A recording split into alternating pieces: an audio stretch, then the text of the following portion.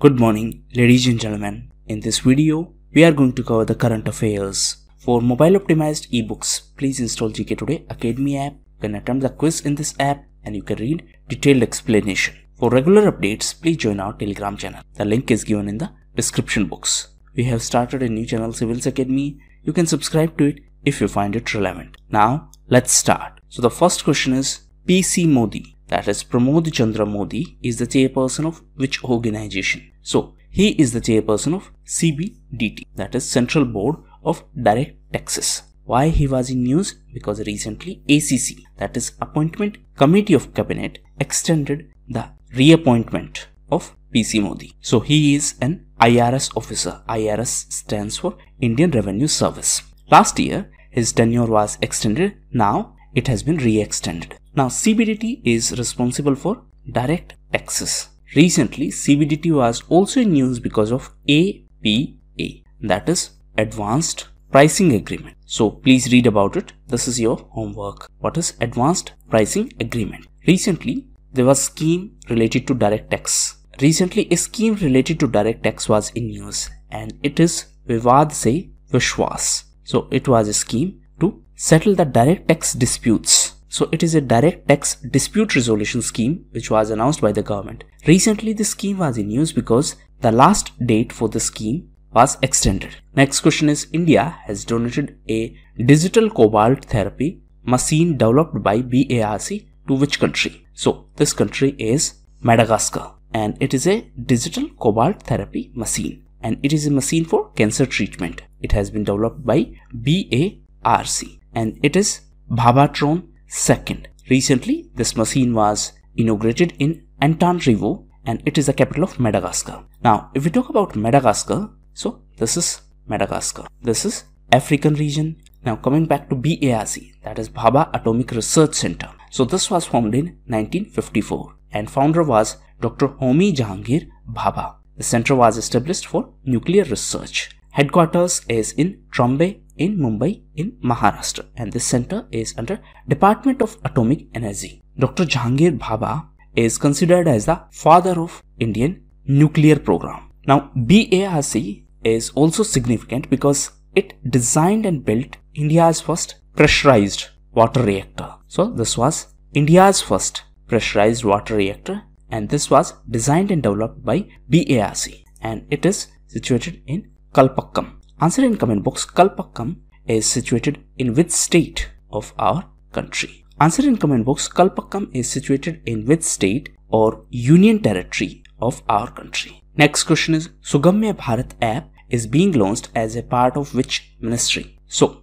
recently Union Minister for Social Justice and Empowerment Thawarchand Gehlot inaugurated this app. Name of app is Sugamya Bharat app. It is developed by Department of Empowerment of Persons with Disabilities. So this department is under this ministry. Apart from this app, the minister also launched a handbook and name of this handbook was Access the Photo Digest. So, so the name of app is Sugamya Bharat app and as you can see, this is developed by Department of Empowerment of Persons with Disabilities and it is for Accessible India campaign. This Accessible India campaign is related to make our facilities more accessible for persons with disabilities or Divyangjans. So it is an initiative related to Ministry of Social Justice and Empowerment. Now, Mr. Thawarchand Gehlot is the present minister and he is the leader of house in upper house. Upper house is Rajya Sabha. Rajya Sabha is a permanent house.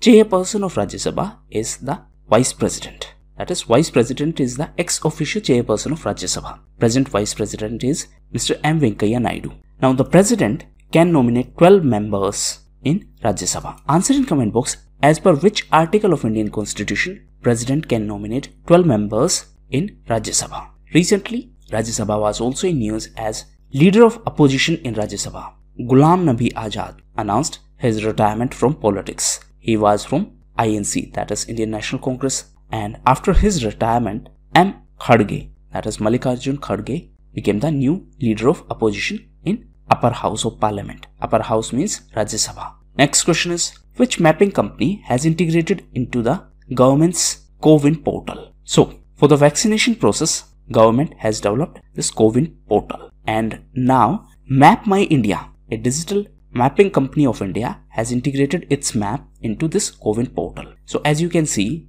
this is a snapshot from the website. So in this you can find this find your nearest vaccination center and here it is a map by Map My India. So on the basis of this map you can find out the nearest vaccination center. So this map is integrated on the website of CoWIN. So the correct answer is Map My India. Now the first phase of vaccination started on 16th of January and the second phase started from 1st of March. These dates are important for certain examinations so please keep them in mind. Now CoWIN is a COVID Vaccine Intelligence Network. So this is the name of platform which has been developed by the government for the vaccine delivery program. Actually before the coronavirus vaccine we already had EVIN EVIN is Electronic Vaccine Intelligence Network. So this was a program by Government of India for entire vaccination process and this CoWIN is just an extension of this EVIN. CoWIN is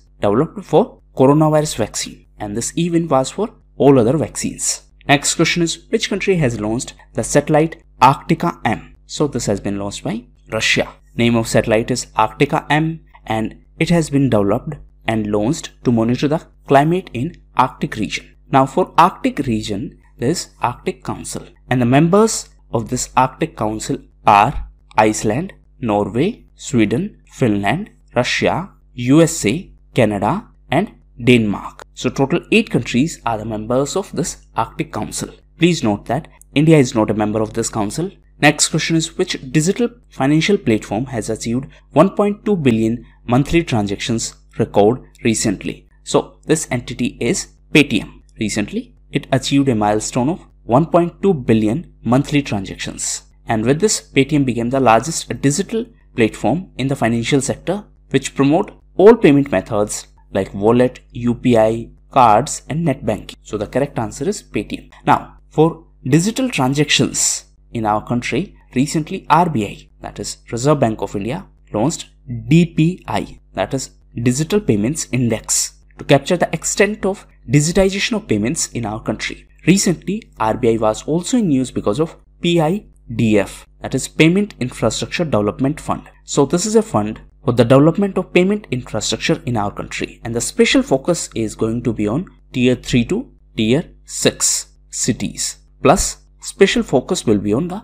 northeast part of our country. Now one question for you and you will have to search a little more for this. So please try to do so. The question is whether it is mandatory for the banks and the payment networks to contribute in this PIDF because RBI is going to contribute in this PIDF. Now question is whether it is mandatory for the banks and payment networks to contribute in this fund. Next question is fall armyworm infestation on crops has been reported recently in which place? So it was recently reported in Wayanad. Wayanad is in Kerala and it has caused excessive damage to the crops. That's why the Agriculture Department of Kerala has issued advisory to the farmers. Now recently, Kerala was also in news as it is the place where India's first labor movement museum is to be set up. Kerala was also in news as it is the first place as it is the first state in our country to provide MSP for vegetables. It was also in news because of Arya Rajendran. She is the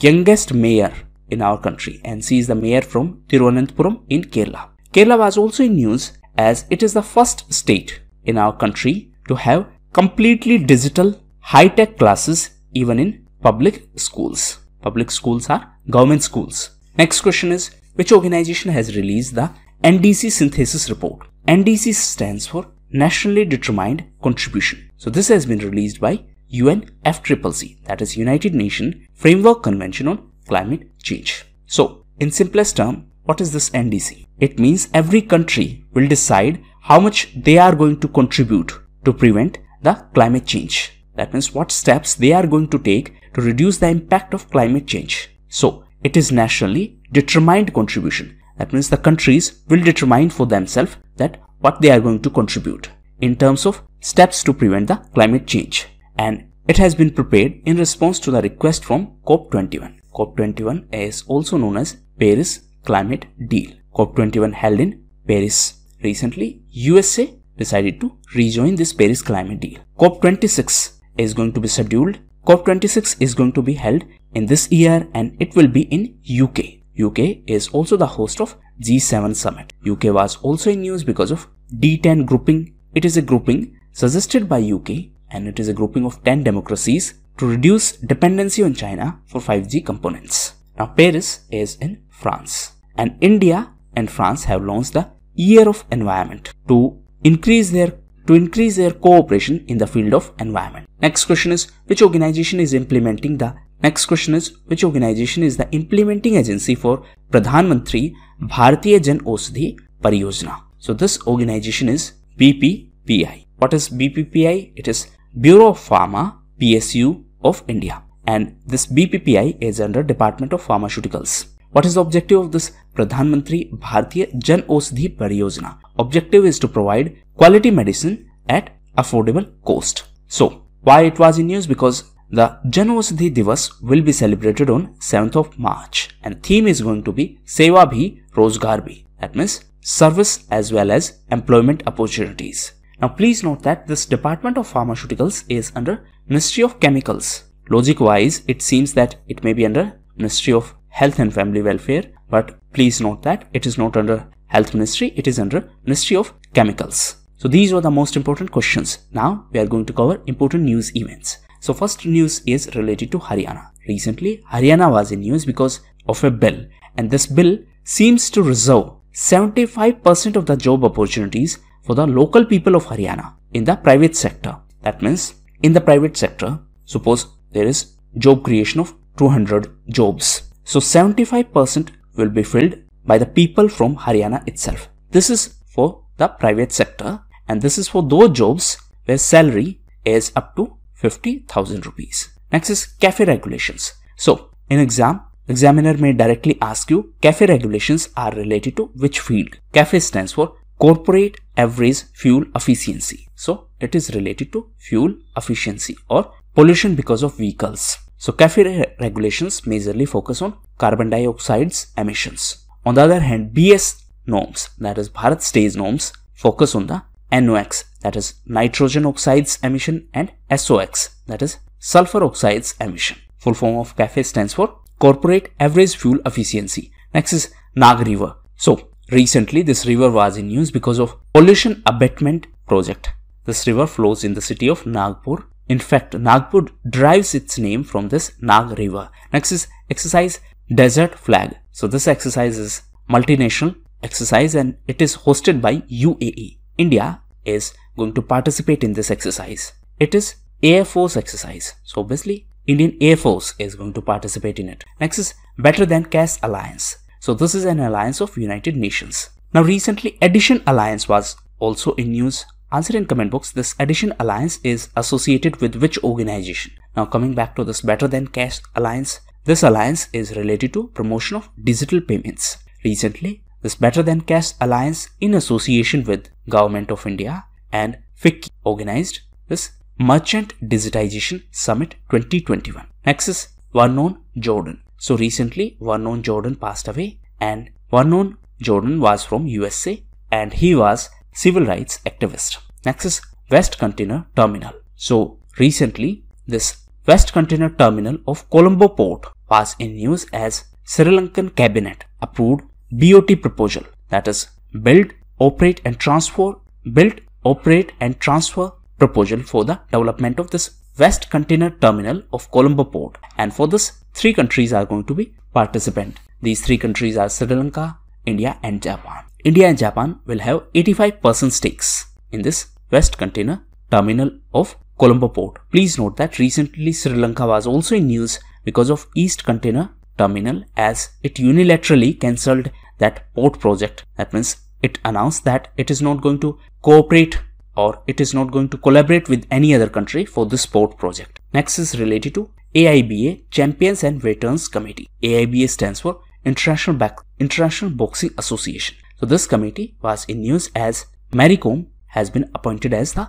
chairperson of this committee. Mary is from India. Now you will now please answer in comment box she is from which state of India. Since she has been appointed as the chairperson of this boxing committee, so obviously she is a boxer. Next is SBI. It is State Bank of India. Recently, SBI joined L-I-I-N-K, Link. So it is a platform of JP Morgan and it is a blockchain based payment network of JP Morgan. Next is Khelo India Winter Games. So these winter games held in Gulmarg and Jammu and Kashmir won the highest medals in these Khelo India Winter Games. So these were the most important news events. Now get ready for the test. Please try to attempt the test without pausing the video. And one good way to attempt the test is take a pen and copy and just play the video and try to just write down the answers in your notebook. Once the time is over, then you can write down your scores. Then you can write down your score or the answers from your notebook. But at that point of time, that means when timer is going on, you should just focus on these questions. So get ready for the test.